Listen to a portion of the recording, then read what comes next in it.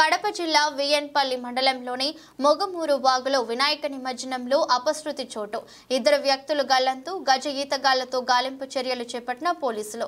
గల్లంతైన వారు వేంపల్లి ఉషా కిరణ్ వీధికి చెందిన బేల్దారి రాజా ఎస్సీ కాలనీకి చెందిన డ్రైవర్ వంశీగా గుర్తింపు మొగమూరు వాగుపై గల్లంతైన భారీ బంధువుల ఆర్తనాదాలు.